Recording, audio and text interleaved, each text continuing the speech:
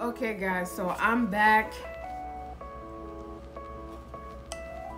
And this foundation is hot like McDonald's coffee in the 90s. So I said, let me try it. Um, I did order it from Target.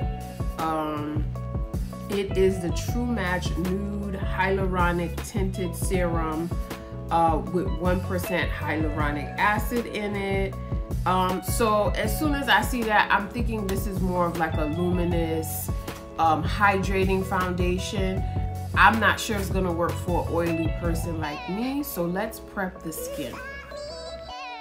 Okay, so I turned off beauty mode because I, I just realized it was on.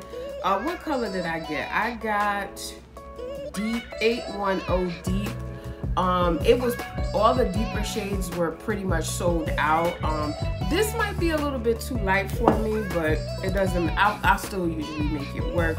Um, I said I uh, prep my face with the this It Cosmetics Bye Bye Pores. I love this particular powder under under my foundation. It just really keeps my face as like matte as possible. I usually concentrate it on my nose anyway. And then I also use this Skindinavia setting spray in oily. So let's try it out. I'm not gonna use a brush because that just doesn't work for me. So I have, uh, I'm also mixing it with the No Pore Problem Primer. I've been doing that lately because I just find the way it applies like it just makes my face looks really good so So that's how much I'm putting, mixing it. It's like in a dropper bottle, but it's, I don't know if I like this dropper bottle. This should have been in like a pump because it's a little bit messy. You see that, you guys?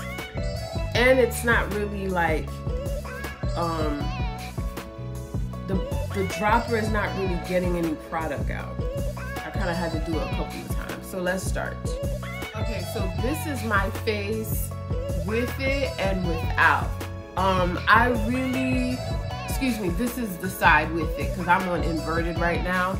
But um, I actually think it looks like skin. It actually matches my skin complexion pretty good. So um, let me do the other side.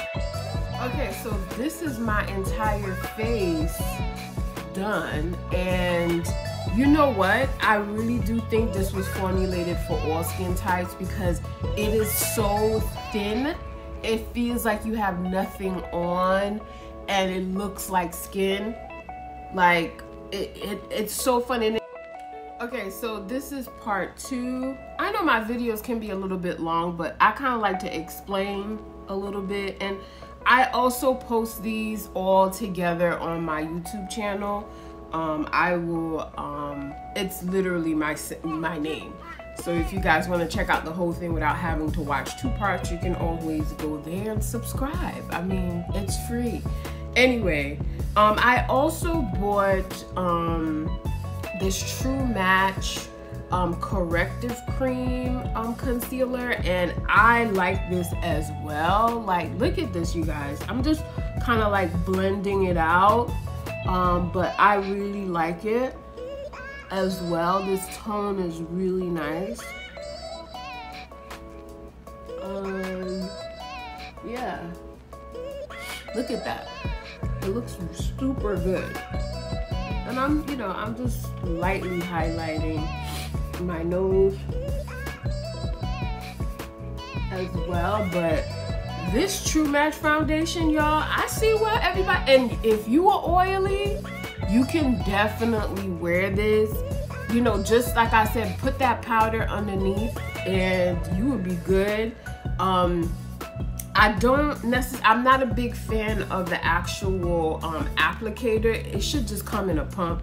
I'm not really sure why. I guess they want to make it feel like skincare um, but I, I think they should have just uh, put it in a pump because it's all like messy. Like look at this. I, I that's gonna bother me so that's the only thing that I'm just like I don't like um but let me finish my makeup and I'll be right back. Okay guys so this is my finished look.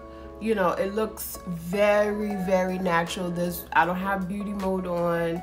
Um I really, really like this foundation and I'm pleasantly surprised um, because I was afraid that it was gonna be too luminous for me. But I do think the combination of actually putting the powder underneath my foundation um, really, really helped a lot. I did see another review and she had drier skin and she thought that maybe it dried her skin up but she also used the um, It Cosmetics um, uh, Bye Bye Pores translucent powder as well but she put it um, um, after she put on the foundation um, but I'm really really happy with the results it looks like skin and it really actually matches my skin complexion pretty good the only thing is I had to order this online you know, why is this not in the store? So yeah, but it looks good.